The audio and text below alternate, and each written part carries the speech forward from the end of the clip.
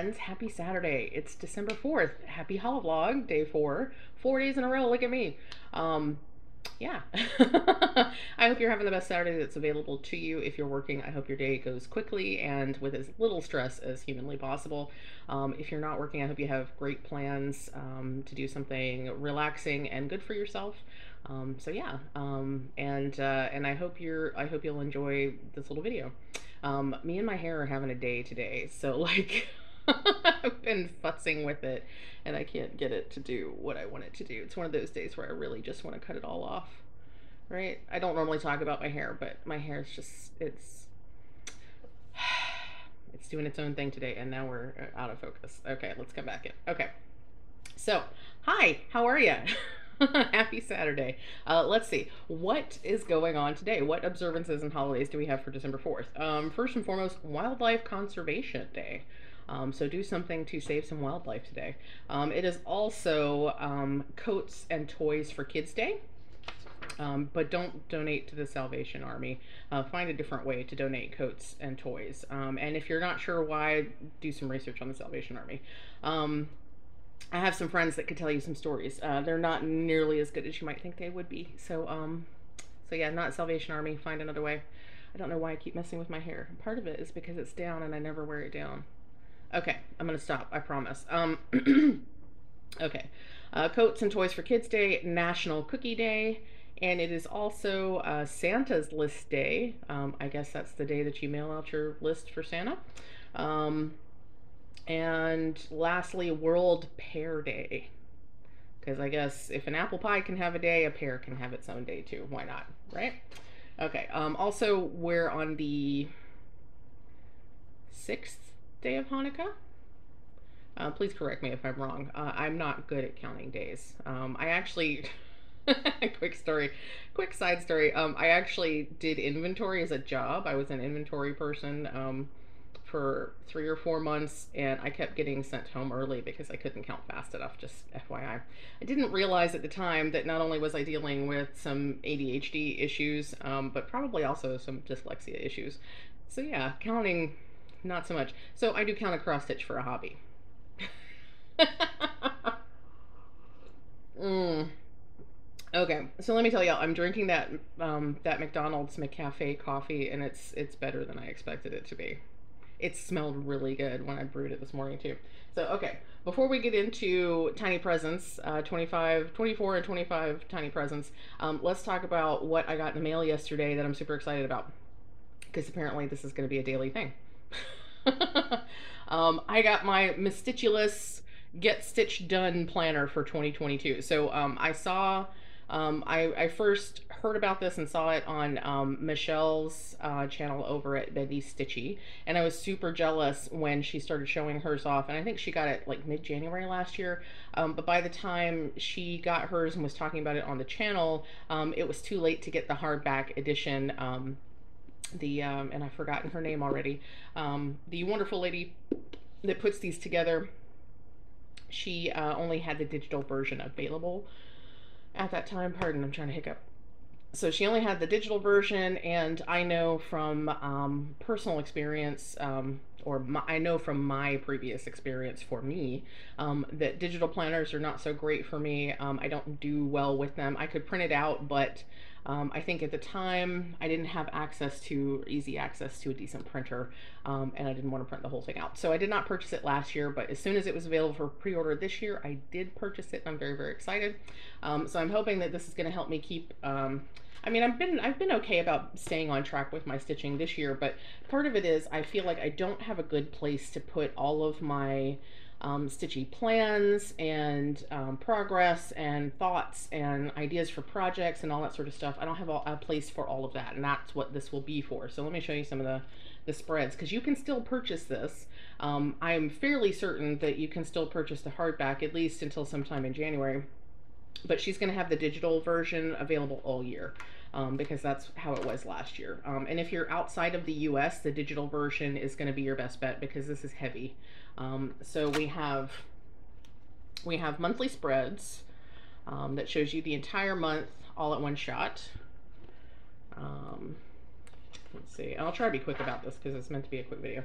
And I should have shown you. So it's got the whole year as well. So you can look at the entire year all at one shot. Hello, focus. Focus. So you can see the entire year. You can look at a month at a time. And then there are weeklies as well. And there's plenty of space to draw, scribble, add, you know, additional notes, all that kind of stuff. It's got um, a gratitude corner, which I think is fantastic.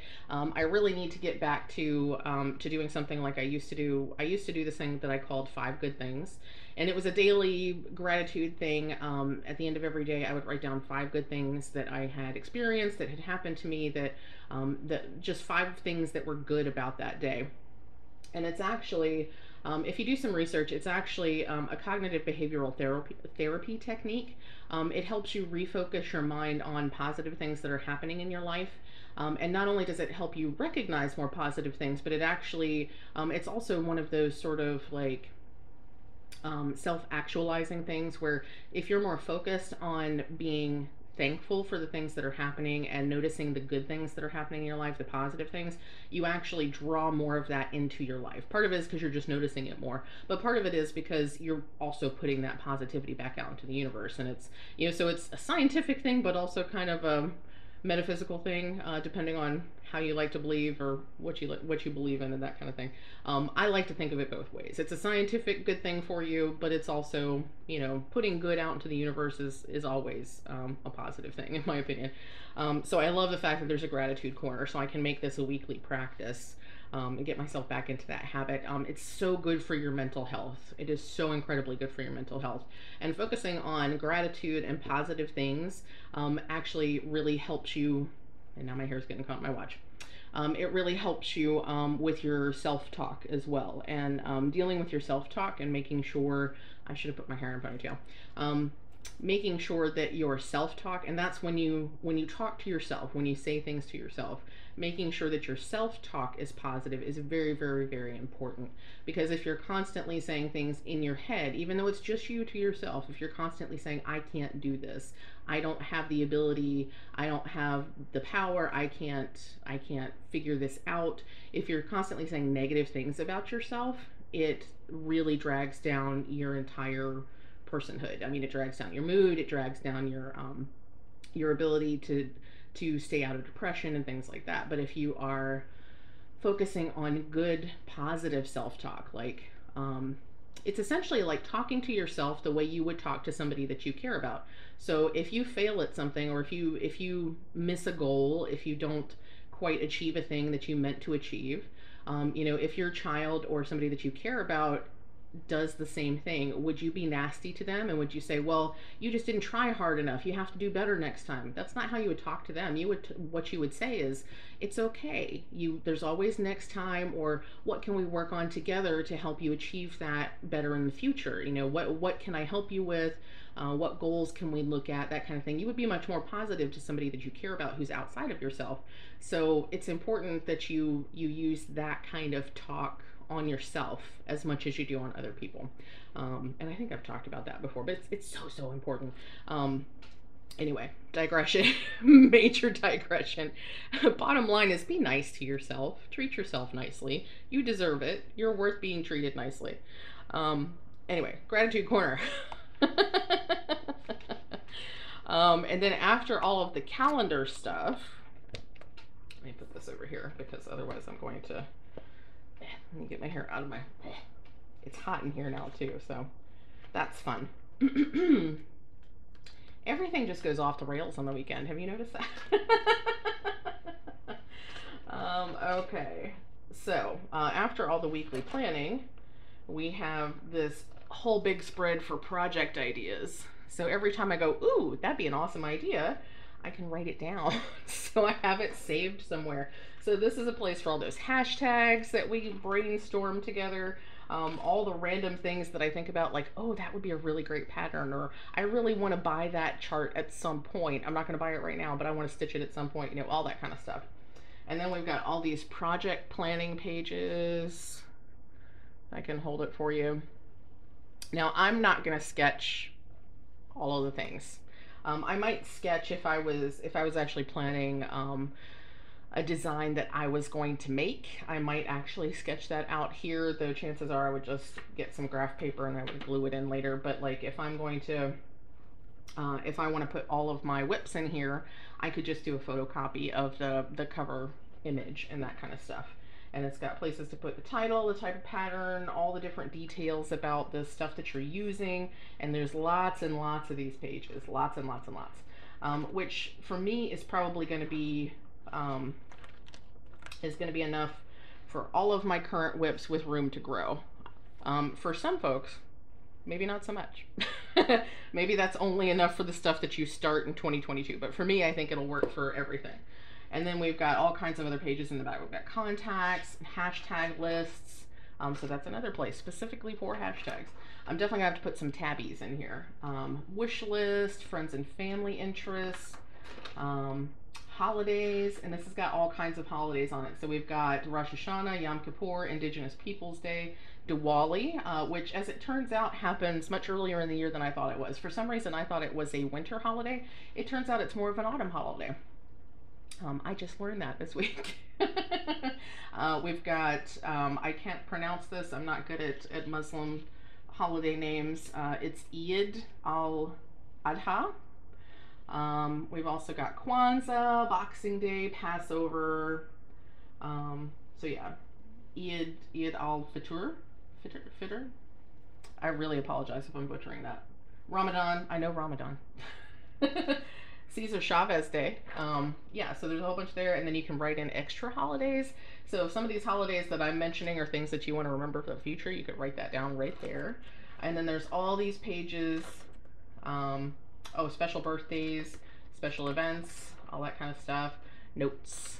Lots of note pages and stuff in the back. And some of the note pages are lined and some of them are dotted. So you have all kinds of, of places and ways to record things and write things down. So I'm very, very, very excited.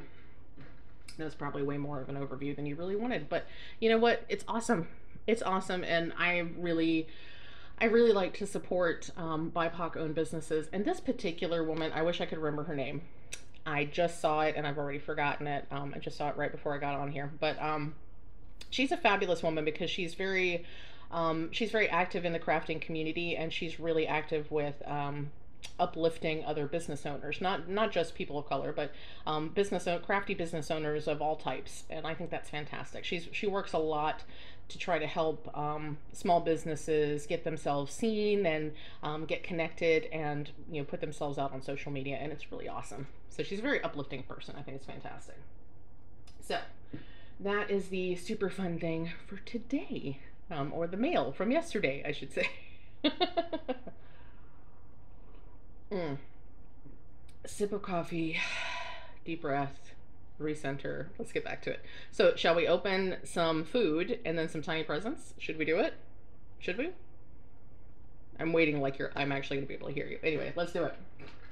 We got coffee, coffee, coffee, coffee, coffee, coffee, coffee. So, um, let's see what day four has in store for us today. Um, I can't read the numbers now. Okay, here we go. Day four. Okay, it's a donut shop coffee. Donut shop. Vowels are our friends. What is this? Red velvet latte. It's something different. It's something I've never had before. One step red velvet latte. Oh, that's going to be interesting. See, this is the kind of stuff I thought we were going to get, not just like here's a medium, a medium uh, roast coffee. so this apparently is going to make some kind of latte, it says. One step latte. I am really anxious to see how that's going to work. I might have to film that for you and cut it in on the next video. We'll see. We'll see. But yeah, so that's, um, so that is December 4th. We got a, a red velvet latte. I'm excited for that. I'm probably more excited than I should be. Okay. And now let's do our, our Moser Roth, Moser Roth, Ah, here's number four. So here's our nutcracker for the day. And he's cute. His eyes are kind of like skewed sideways. I don't know. What kind of chocolate have we got today? Is this the same one? No, he's...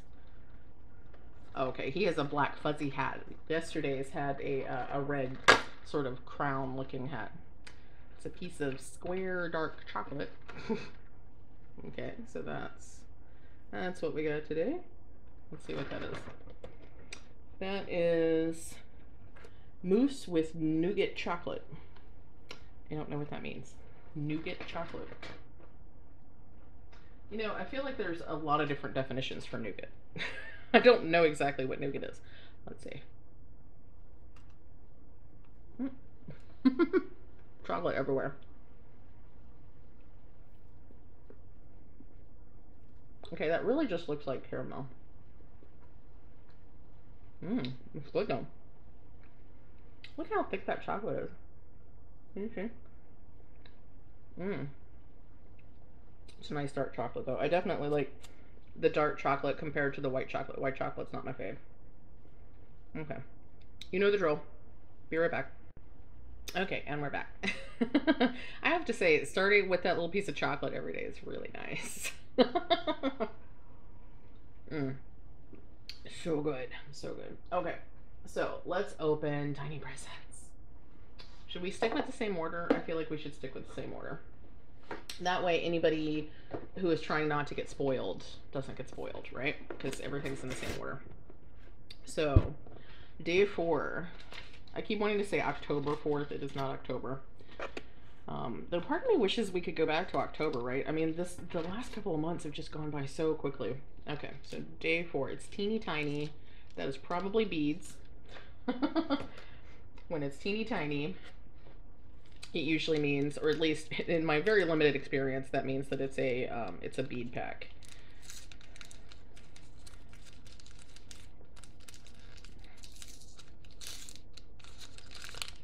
It's thwarting me.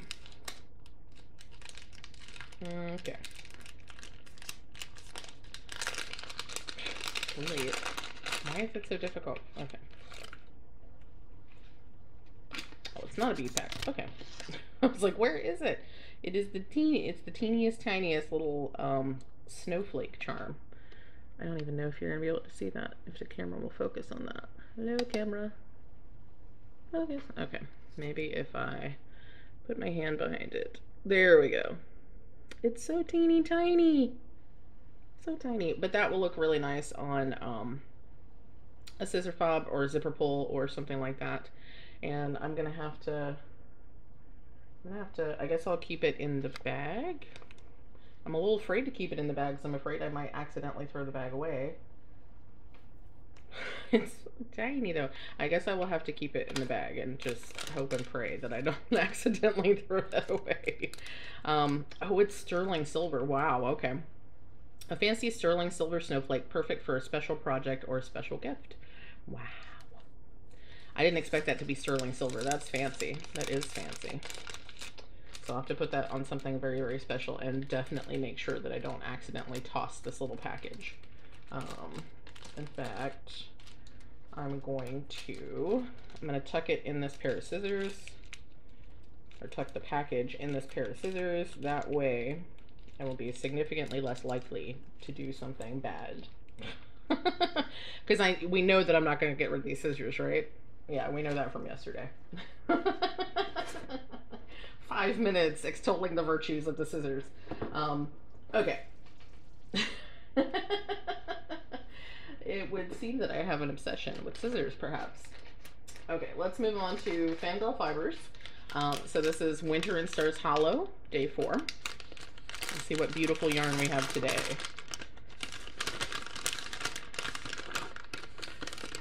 Ooh, look at this. Okay, there's the card. Okay. Look. Wow. Oh my gosh. I love it. I love it. So pretty. Okay, focus please. There we go. That's so gorgeous. Okay, let's see what episode this is a reference to. What's a rune? Season 1, episode 12. Do you remember who Rune is? I totally do. Um, so Rune, I believe, is Jackson's brother or cousin, um, who was completely rude and annoying. what's a rune? That's awesome. Okay. So that is Fangirl Fibers. And now let's do Asylum Fibers over the rainbow. And I have to find I'm definitely gonna have to find something different to do um, instead of just hanging these out. Because as you see, once we get past day six, it's gonna be difficult. Shove them back in there. Okay. so those are the first three days, and now we have day four. More red. I kind of thought the colors would um, would fade a little bit more um, or less gradually, I should say. Um, but because this looks this looks really a lot like ruby slippers. Um, no, okay, I can see that. You can't see it on camera so much. On camera, they look very, very, very similar, but in person, this actually has more. Um, I guess Heike, would you say this has? Well, you can't. The color's not great. I think Heike would say this has more yellow. Heike is like my resident um, color expert. She's always she's the one who like sees all the layers of the colors, and she's like, "Oh, this purple has more red in it, or that that color has more red blue in it, or whatever." Um, I I'm not so good, but because this is a warmer browner kind of red, I would say that it has maybe more yellow in it. Um, but it's more of a bricky, bricky brown kind of red, and it's got dark, like much darker streaks in it. Um, even though it does look on camera very similar to yesterday's, but it is a different color, I promise. So this is. You don't want any of those apples, not those apples. Um, yeah. So. Okay, so there are yarns for today. These actually would go really nicely together. That would be fantastic. A little bit of sparkle. Yeah, okay. Not not necessarily going to do that, but they would go well together. This is a squishier yarn. okay, folks, that's what I've got for you today. Um, hopefully, um, I had I had really hoped that yesterday there would be a flosstube, but I got so so busy with work. Um, I had a plan, and um, as is typical, when you have a plan, everybody else just does everything they can to screw up your plan. I mean, I don't know if that happens to you at work, but that certainly happens to me. So I was like, oh, I'm going to get this and this and this and this. And then by this time, I'll be able to, you know, go off and do some other things. Nope. Nope, nope, nope. My day got completely turned up on its head. It was not fun. I was I was not impressed. Um, but I got it done. Made it through. Um, I just didn't get I didn't get a floss tube. Um, so hopefully this weekend floss tube fingers crossed. Um, at the very least, you will you will have Holivlogs. I will make sure you have Holivlogs. Hopefully, there will be a flosstube. Um, I don't have a ton of stitching to, to talk to y'all about, but I do have lots of knitting. I've been doing knitting almost exclusively for the last couple of weeks.